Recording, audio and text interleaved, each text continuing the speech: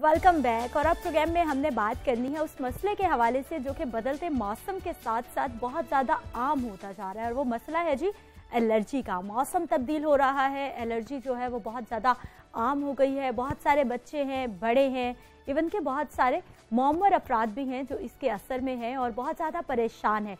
तो उनकी परेशानी को देखते हुए शहरिया, शहरियों की सहूलत के लिए आज हमने मदु किया है जी। माहिर स्किन है, डर्माटोलॉजिस्ट है हमारे साथ मौजूद।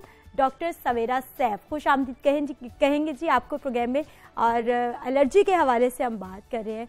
एलर्जी है क्या? सबसे पहले तो ये बताइए। एलर्जी वैसे तो एक ऐसी टर्म है जिसको हमारी पॉपुलेशन एक बहुत ब्रॉड चीज़ों के लिए इस्तेमाल कर लेती है। लेकिन स्पेसिफिकली स्पीकिंग एलर्जी जो होती है वो किसी भी इंटरनली एक्सटर्नल एजेंट की वजह से आपकी बॉडी का जो इम्यून रिस्पॉन्स मैनिफेस्ट होता है ऑन द स्किन उसको हम एलर्जी के तरह डिस्क्राइब करते हैं। जैसे कि अगर आपको किसी चीज़ से एलर्जी है फ़र्ज़ करें तो वो जब भी आपकी बॉडी के साथ इन कांटेक्ट आती है थ्रू एयर बॉन्ड हो या आप फ़िज़िकल कांटेक्ट हो तो बॉडी में एक रिस्पॉन्स डेवलप होता है अगेंस्ट दैट एलर्जन तो कोई भी ऐसा uh, चीज़ जिससे आपकी बॉडी इज़ सेंसिटिव या आपकी बॉडी एलर्जिक है तो वो बॉडी में जो रिस्पॉन्स आता है उसको एलर्जी कहते हैं। उस रिस्पॉन्स में एक तो बहुत आम सी चीज़ है जिसे कहते हैं कि स्नीजिंग स्टार्ट होती है छींकें आती हैं जिसम पे लाल रंग के धप्पड़ बनते हैं जिसको आम जबान में इस तरह से डिस्क्राइब करते हैं और जैसे कि इसके साथ साथ जो होता है आँखों के गिर्द सोच भी, हो सकती है होंठ सूझ सकते हैं और उसके ऊपर बहुत ज़्यादा खारिश होती है जिसके साथ बहुत ज़्यादा डिस्कम्फर्ट होता है पेशेंट्स को अच्छा सवेरे किस किस टाइप की एलर्जीज होती हैं जो कि मौसम हम्म। बदलने के साथ आपको हम्म। जिनका सामना करना हम्म। पड़ता है वैसे तो एक बहुत ब्रॉड टर्म है, इसके लिए बहुत हमें ज़्यादा टाइम चाहिए समझने के लिए कितनी टाइप्स की एलर्जीज़ हैं। लेकिन बेसिक एलर्जी ये हम इसको डिवाइड करते हैं into acute and chronic allergies ठीक है, इसमें हम इसमें जो हम जो अर्टिकेरिया है, जिसको हम टर्मिनोलॉजी हम यूज़ करते हैं फॉर द स्किन कि जब आपके स्किन के ऊपर धप्पड़ बनते हैं तो हम उसको अर्टिकेरिया कहते हैं। ठीक है। वो एक्यूट या क्रॉनिक जैसे कि छः हफ्तों के अंदर अगर हो रहा है और ठीक हो रहा है तो उसको हम एक्यूट ऑनसेट कहेंगे। और अगर उससे बढ़ जाता है सिक्स वीक से बियॉन्ड तो हम उसको क्रॉनिक अर्टिकेरिया कहते हैं। फिर फिर उसके अलावा जो है, बहुत सारे एजेंट्स हैं जिससे कि एलर्जीज प्रोड्यूस होती हैं। जैसे कि बैक्टीरियाज हैं वायरसेस हैं, जैसे हेपेटाइटिस बी सी उनसे, उनके साथ एसोसिएशन है। बैक्टीरियाज हैं जो आपकी स्किन पे रहते हैं स्टेप्टोकोकाई उनसे हो सकती है। वायरसेस हैं, ठीक है। इसके अलावा जो है पैरासाइट्स अगर बॉडी में हैं जो कि गट के आपके, जो अंतड़ियों के हैं, वो अगर आपकी बॉडी में है, उसकी वजह से आपको टीकेरिया हो सकता है। उसके अलावा food food is very important कि फ़ूड जो है बहुत सारा फ़ूड ऐसा है जो हम खाते हैं जिसकी वजह से एलर्जी होती है जिसके अंदर सबसे ज़्यादा तो लोगों को डेयरी प्रोडक्ट से एलर्जीज होती हैं। उसके अलावा प्रोटीन से होती है जिसमें कि अंडे और पीनट्स और अच्छा अंडों का बहुत ज़्यादा सुना है कि जो लोग भी कहते हैं वो कहते हैं कि कहीं आपको अंडा खाने से एलर्जी तो नहीं हम्म। होगी। डेयरी प्रोडक्ट्स में कौन सी स्पेसिफिक प्रोडक्ट्स हैं कि जिनसे एलर्जी हो सकती है? वो डिफरेंट चीज़ें होती हैं जिसमें कि कुछ लोगों को जैसे लैक्टोज इंटॉलरेंस है तो उसे गट जो है वो उसे बर्दाश्त नहीं कर पाती है उस खास एक प्रोटीन को। तो हम उनको कहते हैं कि आप डेयरी प्रोडक्ट्स के लैक्टोज फ्री डाइट लें। ठीक है? उसके अलावा जो है वो उनके अंदर डिफरेंट प्रोटीन्स हैं जो कि हमारी बॉडी जो एक्सेप्ट नहीं कर रही होती है, उसकी वजह से आपको एलर्जीज हो रही होती हैं। और इसीलिए फिर हम वो जो जो भी फ़ूड जो होता है उसके अंदर और जिस तरह के आजकल हमारे फ़ूड प्रोसेस्ड फूड्स हैं या प्रिजर्वेटिव्स डाले हुए हैं फ़ूड एडिटिव्स डाले हुए हैं जिसके अंदर नाम तो नहीं लिखा हुआ था लेकिन उन्हें उन्होंने कोड किया हुआ था E one O two E one O four अगर आप अपने फ़ूड के इंग्रेडिएंट्स में पढ़े हाँ। इंग्रेडिएंट्स में पढ़ें तो वो कुछ कलर एडिंग एडिटिव्स होते हैं या प्रिजर्वेटिव्स होते हैं कोई एंटीऑक्सीडेंट्स उन्होंने उसमें डाले होते हैं जिससे कि आप वो एक बहुत लंबी लिस्ट है वो उसके लिए हम फिर पैच टेस्ट कर सकते हैं कि आपको किस स्पेसिफिक फैक्टर से एलर्जी इंड्यूस हो रही है। तो बेसिकली तो वो एक बहुत लंबी लिस्ट है जो कि आप किसी भी एक चीज़ के साथ एलर्जी होता हैं। और हमारे यहाँ जैसे कि स्पाइसेस यूज़ की जाती है फ़ूड में बहुत ज़्यादा तो स्पाइसेस से भी जो है ना वो एलर्जी इंड्यूस होती है। अच्छा सवेरा माहौल का कितना असर होता है? क्योंकि आजकल हम देख रहे हैं समोक भी देखते हैं हाँ। उसके साथ साथ जो है वो पोल्यूशन बहुत ज़्यादा है। बिल्कुल। हर तरफ़ जो है वो हाँ। गर्द है हाँ। मिट्टी है अब आलूद सा मौसम रहता है। वो कितना असरअंदाज बहुत ज़्यादा असर करता है क्योंकि रेस्पिरेटरी ट्रैक इन्फेक्शन यानी कि नाक कान गले के इन्फेक्शन जितने भी हैं, वो भी आपके एक कॉज हैं फॉर एलर्जीज एंड अर्टिकेरियाज ठीक है? इसके अलावा जो है, अगर हम बाकी फैक्टर्स देखें तो हीट और कोल्ड से भी अर्टिकेरियाज होते हैं। इसको एलर्जी कह देते हैं आम जबान में कि जैसे ही सर्दी का मौसम आना शुरू होता है, कुछ लोगों को एलर्जीज डेवलप होनी शुरू हो जाती हैं। वो cold contact urticaria heat contact urticaria इस तरह पानी से भी कुछ लोगों को होता है एलर्जी होती है। वो एक्वेजेनिक अर्टिकेरियाज इसके अलावा जो है कि ऐसे जिनके शोबे हैं जिसके अंदर वाइब्रेटरी टूल्स इस्तेमाल कर रहे हैं जिसमें ड्रिलिंग है और लॉन मोर है और डिफरेंट चीज़ें हैं जिसमें आपके बॉडी को वाइब्रेशन वाइब्रेशन पड़ती है। उससे अच्छा। भी जो है ना वाइब्रेटरी अर्टिकेरियाज हैं वो उस तरह से डेवलप हो सकते हैं। सही डिफरेंट टाइप्स हैं एलर्जीज की। अच्छा सवेरा ऐसा होता है कि मोस्टली जब मौसम बदलता है हाँ। तो बहुत सारे आपने कहा कि माओ को बहुत शिकायत होती है कि हाँ। बच्चे बहुत जल्दी बीमार हो जाते हैं। हाँ। और उसके बाद वो इतनी मेडिकेशन भी होती है लेकिन उसके बाद भी वो जो जुकाम और वो छींके मारने का सिलसिला है वो साथ साथ जारी रहता है। वो बहुत जल्द जान नहीं छोड़ता। जो बच्चों में है बच्चों में और भी कुछ अलामत आती हैं जैसे कि रनी नोज़ रहती है उनकी नाक अक्सर बहती रहती है साथ में छींकें होती हैं हल्का बुखरा बुखार भी होता है उसके साथ साथ जल्द खुश्क भी होती है। जल्द काफ़ी खुश्क होती है ऐसे बच्चों की।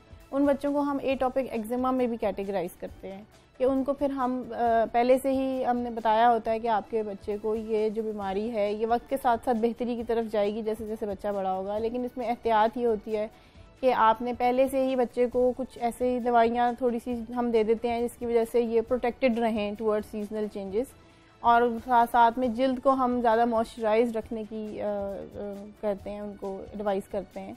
तो ये सब एहतियात के साथ और एंटी बैक्टीरियल सोप्स जो हैं वो इस्तेमाल नहीं करते ऐसे बच्चों में। और बाकी जो है उनकी फ़ूड एंड डाइट का अच्छा ख्याल रखें। तो जैसे जैसे बच्चे बड़े होते जाते हैं वो बेहतर होते जाते हैं। सही।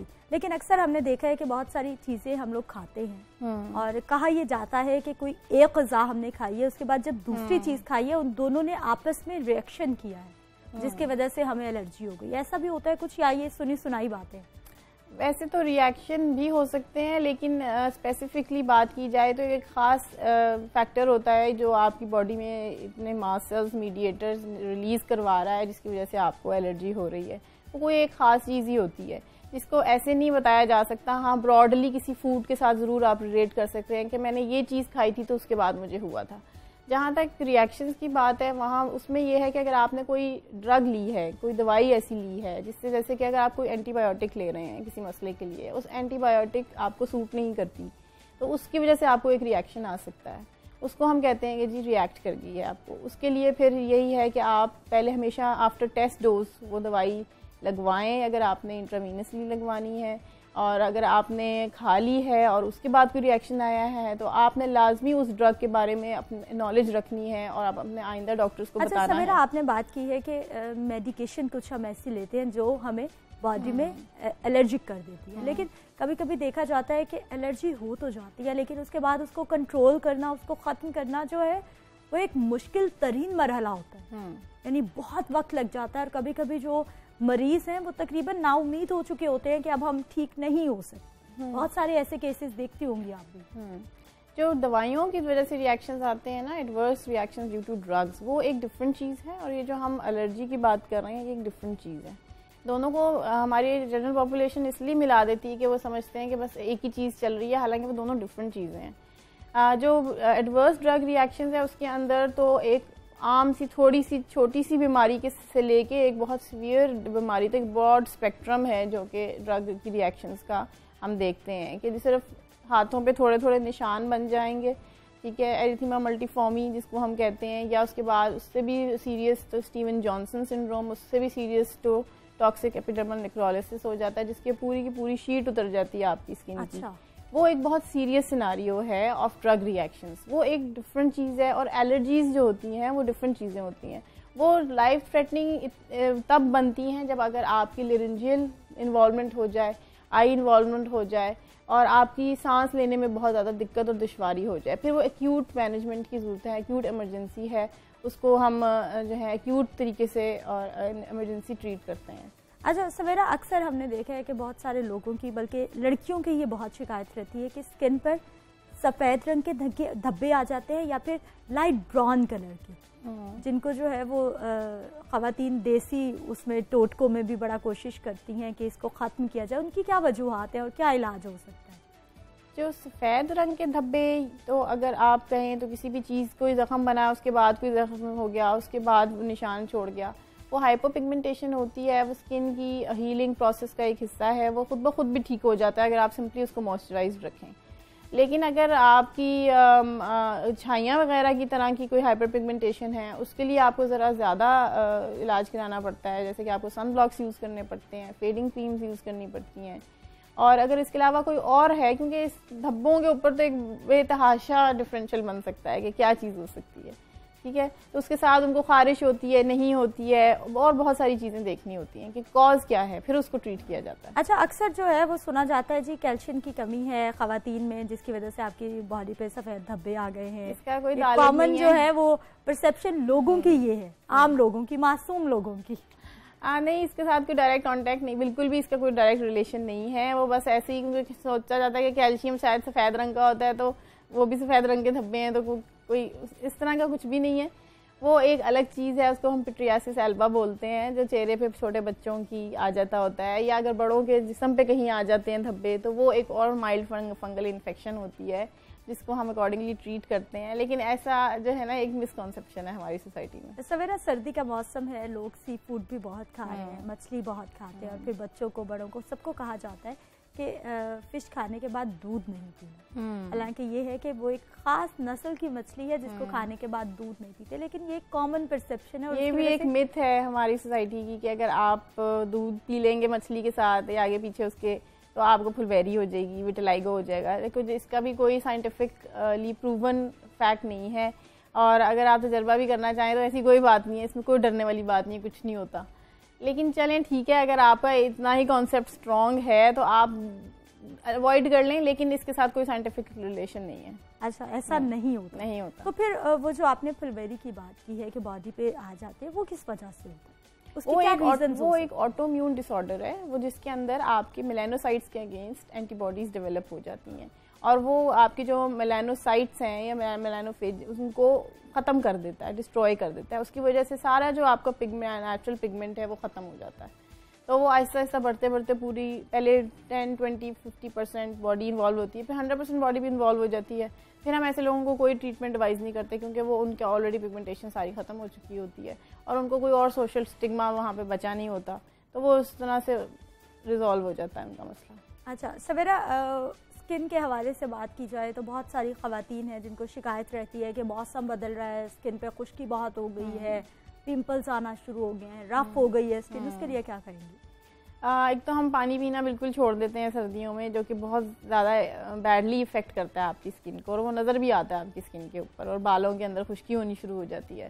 तो आप एक तो अपना वाटर इनटेक बहुत अच्छा रखें आप फ्रेश जूसेस ले लें, क्योंकि इतना अच्छा आजकल विटामिन सी इतने फॉर्म्स में अवेलेबल है, जैसे कि हमारे सिट्रस फ्रूट्स आ रहे हैं माल्टा किन्नू मौसमी वगैरह, और उससे भी ज़्यादा विटामिन सी अमरूद में होता है। तो आप अमरूद खाएँ, ये किन्नू वगैरह के जूस पिएँ, और सबसे ज़्यादा यही कि आप पानी भी पीते रहें। उसके साथ साथ जो है ना, अपनी स्किन को वेल मॉइस्चराइज रखें। बार बार आप लोशन लगाएँ, दिन में दो से तीन बार तो आप आम भी लगा सकते हैं, इससे ज़्यादा भी लगा सकते हैं।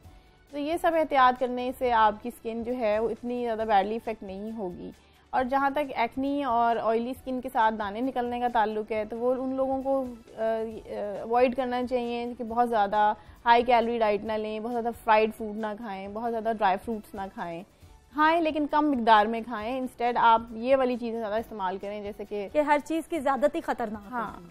अच्छा सवेरा ऐसा भी होता है कि बहुत सारी खातन जो है वो खाने पीने की भी बहुत शौकीन होती हैं फिर खूब खाना पीना खाती हैं लेकिन जब वो खाना पीना ऐसा होता है कि स्किन पे पिंपल्स बनने की सूरत में आपको नज़र आता है स्किन बहुत ज़्यादा ख़राब हो जाती है। हम्म। और बहुत सारी खातन इस चीज़ की बहुत ज़्यादा शिकायत भी करती हैं और परेशान रहती हैं। हम्म। मैंने अभी आपको बताया ना जैसे कि, कि आप बहुत ज़्यादा ऑयली एंड फैटी फ़ूड अगर लेंगे तो आ, उसके साथ एक्नी का एसोसिएशन है। ऑल दो कि साइंटिफिकली इसको प्रूव नहीं किया गया कि क्या रीज़न है, लेकिन ये एक कुछ ऑब्जर्वेशन हैं जिसके ऊपर बेस की जाती हैं कुछ चीज़ें। तो हम ऑयली एंड फैटी फ़ूड जो है वो मना करते हैं। ज़्यादा ज़्यादा शुगरी डाइट मना करते हैं। जैसे कि चॉकलेट्स हो गई कोला ड्रिंक्स हो गई। ये सब चीज़ें जो है ना, आपकी हाई कैलोरी हाई काब्स जो डाइट है जिसकी वजह से इसकी एसोसिएशन है। और उसके साथ साथ आपका एक वेट गेन हो जाता है। ओबीसिटी डेवलप होती है वेट गेन होता है।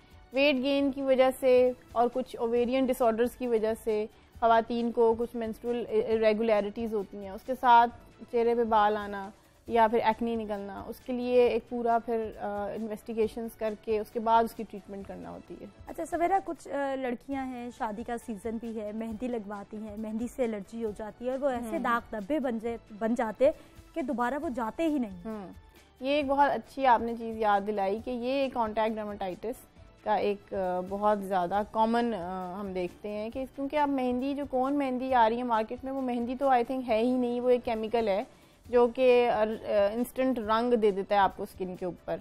तो वो एक बहुत ही गंदा केमिकल है आई गेस कि वो जो है आपकी स्किन को वहाँ से बर्न भी करता है और बहुत ज़्यादा इरिटेशन होती है बर्निंग होती है और रेडनेस जो है वो छोड़ देता है आपकी स्किन के ऊपर। और ऐसे लोगों को तो बिल्कुल नहीं लगानी चाहिए। कि ये अगर आपने यूज़ ही करनी है तो आप नेचुरल मेहंदी लें उसको पिसवा लें और उसके उससे जो आप हाथों में लगाना चाहते हैं या बालों में लगाना चाहते हैं वो लगाएँ ठीक है? लेकिन ये है कि ये केमिकल मेहंदी बिल्कुल इस्तेमाल ना करें। होते हैं बहुत ज़्यादा।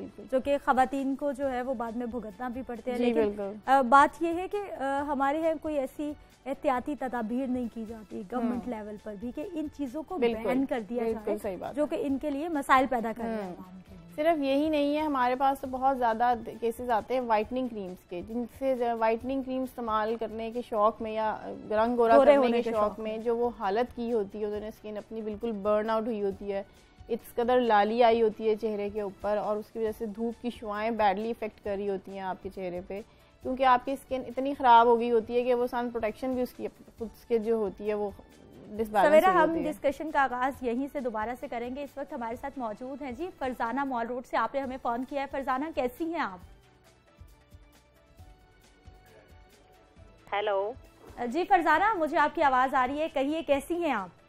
मैं ठीक हूँ अल्हम्दुलिल्लाह। आप कैसे हैं? मैं बिल्कुल ठीक हूँ जी अल्लाह का शुक्र। डॉक्टर सवेरा अच्छा, हमारे साथ मौजूद है। क्या पूछना हाँ, मुझे ये पूछना मैम एक तो सर्दियों में मेरी स्किन पे मसन किसी भी जगह एक तो खारिश होती है मुख्तलिफ़ जगहों पे फिर वहीं पे ना ऐसे ड्राइनेस सी फील होती है ठीक है? और फेस पे भी और इधर उधर वाइट निशान मुझे फील होते हैं ठीक है? और हाथों पे ना कट से लग जाते हैं तो उसके बाद उस पर खारिश होती है। इसका मुझे बताएँ इसके लिए मैं क्या करूँ और ये किस वजह से होते हैं और इससे फिर मैं कैसे इसको करूँ? ठीक है फरजाना टीवी देखिए अभी आपका जवाब आप तक पहुंचाते हैं। जी डॉक्टर सुहेल ये बहुत कॉमन सारी प्रॉब्लम्स बता रही हैं जो कि यहाँ से हमारी सारे लोगों को ही हो रही होती है सर्दियों में। एक तो हम लोगों को आदत है हम बहुत गर्म पानी से नहाते हैं। तो जब गर्म पानी से नहा लेते हैं उसके बाद बॉडी को मॉइस्चराइज भी नहीं करते तो आप जब आपको इरिटेशन या खारिश होती है तो आप फिर खुजाने, खुजाते हैं। नेचुरल है कि आप खुजाएँगे उस जगह को जहाँ पे खारिश होगी। तो फिर वहाँ पे आपको या ज़ख़म होगा या आपको लगेगा जैसे कि मेरी स्किन वहाँ से सफ़ेद हो रही है। तो बेहतरीन तरीका ये है कि एक तो आप अपना वाटर इनटेक एडुकेट रखें। दूसरा ये कि बहुत तेज़ गर्म पानी से नहाना है, नीम गर्म पानी से नहाएँ जितना, उतने ही टेम्परेचर पर रखें पानी जो आपका नेचुरल बॉडी टेम्परेचर है। ठीक है उस उसने उतने पानी से बहुत गर्म पानी बहुत गर्म पानी से ना नहाएँ। और जैसे ही आप नहा लें उसके दो से तीन मिनट के अंदर अंदर आप अपनी बॉडी को मॉइस्चराइज करें अपनी जिल्द को। क्योंकि जो फ़ायदा उस वक्त होगा वो खुशक हो जाने के बाद नहीं होगा मॉइस्चराइजर का। अच्छा ज़्यादा ने ये भी कहा है कि खारिश करती है तो बॉडी पे कट आ जाते हैं। वो उनके हाथ जो हैं वो बता रही हैं कि हाथों पे कट आ जाते हैं। लेडीज़ अक्सर घर में काम करती हैं वो डिटर्जेंट्स और सोप्स और इन हार्ड के हार्श केमिकल्स के साथ उनके हाथों का एक्सपोजर भी होता है और साथ में ऊपर से ड्राइनेस भी हो रही होती है। तो आप ज़्यादा से ज़्यादा पेट्रोलियम जेली का इस्तेमाल करें इस मौसम में हाथों और पैरों के लिए, ताकि आपकी स्किन पे एक अच्छी सी कोटिंग हो जाएगी जो आपको प्रोटेक्टेड रखेगी इन हार्श केमिकल्स से और साथ साथ मॉइस्चराइज भी रखेगी आपके हाथों को। और ये जितने भी एंटी एंटीबैक्टीरियल सोप्स हैं उनको रेगुलरली बिल्कुल भी इस्तेमाल ना करें बल्कि कम से कम ही इस्तेमाल करें मैं तो रिकमेंड नहीं करती। तो आप माइल्ड सोप इस्तेमाल करें मॉइस्चराइजिंग सोप इस्तेमाल करें और अपनी जिल्द को जो है इतने हार्श केमिकल्स और गर्म पानी से भी लेकिन हम तो सवेरा अक्सर देखते हैं कि माएँ जो है वो बहुत ज़्यादा एंटीबैक्टीरियल सोप इस्तेमाल करती हैं कि बच्चे साफ़ सुथरे रहें इनको नहीं अगर आप सादा साबुन भी इस्तेमाल करेंगे कि बच्चे साफ़ सुथरे ही रहेंगे बल्कि वो और सुपर इम्पोज इन्फेक्शन से जो है ना, वो बचे रहेंगे। अभी जाएँगे हम ब्रेक पर, ब्रेक से वापस आएँगे।